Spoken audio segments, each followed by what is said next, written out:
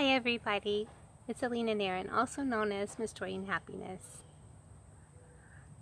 I think we've all had enough negativity with the news, negative tweets, with people bashing each other.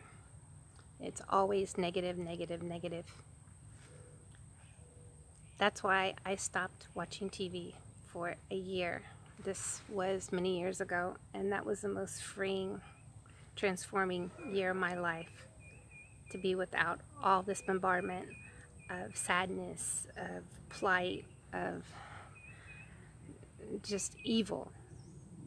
So I know everybody wants to feel like they're part of something.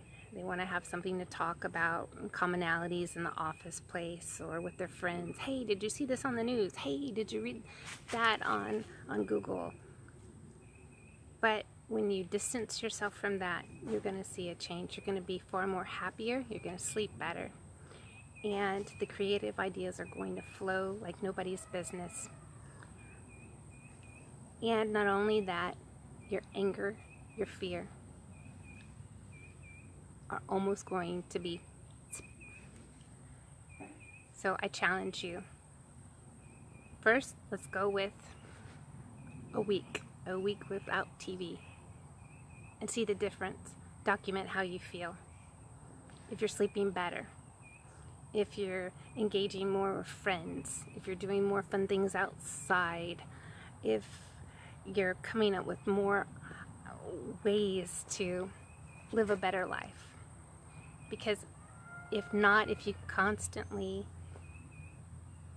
continue this bombardment of negativity, sooner or later, you're going to be the one that becomes negative. And I've helped people with this because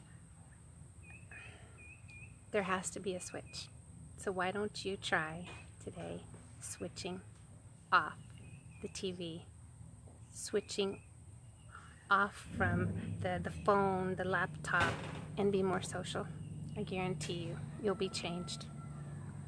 So if you need coaching, give me a call. If you like this video, please put a comment and please follow me on Facebook and Twitter. As always, happy day.